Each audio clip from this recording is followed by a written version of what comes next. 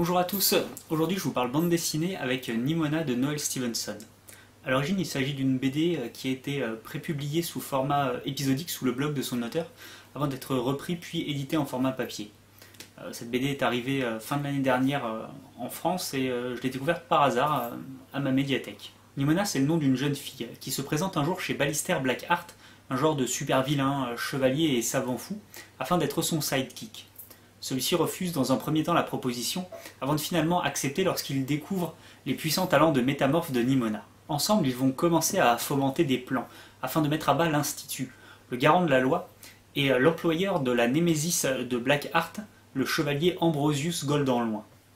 Celui-ci est aussi blond et belâtre que Blackheart est brun et ténébreux, et tous deux semblent liés par un mystérieux passé qui va se dévoiler lentement au fil des pages. Alors que l'histoire avance, on découvre que complot et manipulation sont légion, et que Blackheart n'est pas aussi mauvais qu'on voudrait bien le croire.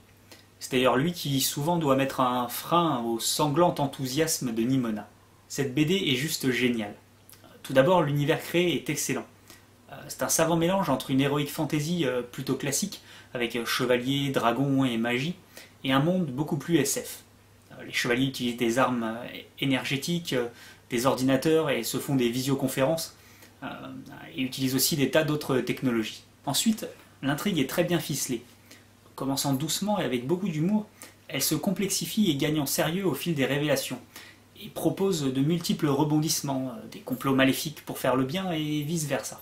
Et puis surtout, les personnages sont parfaits, complexes et travaillés, euh, portant chacun leurs blessures, leurs traumas et leurs sombres secrets. Nimona, tout d'abord, jeune fille insouciante et drôle dans sa sauvagerie naturelle et son envie de faire le mal, va se révéler passionnante.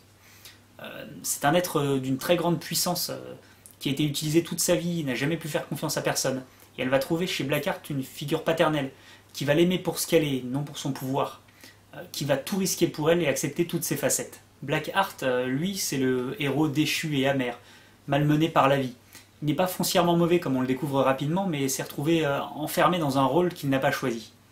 Il nourrit beaucoup de rancœur à l'égard de Gold en loin, et leur euh, relation aussi entre euh, la haine et l'amitié, euh, voire l'amour, irrémédiablement entachée par un tragique événement qui a modifié en profondeur la vie de Blackheart.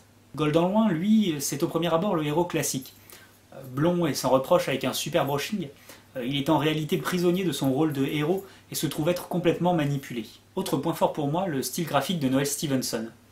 Celui-ci est très épuré et peut même paraître simpliste, mais il est vraiment parfait pour dépeindre euh, tous ces personnages euh, atypiques.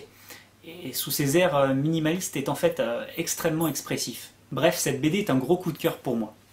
Avec au centre de son intrigue son trio de personnages atypiques, Noel Stevenson aborde nombre de sujets plutôt graves et sérieux, mais toujours avec humour et un décalage jamais malvenu. Voilà, c'est fini pour aujourd'hui, j'espère que ça vous aura plu et surtout donné envie de lire cette excellente BD.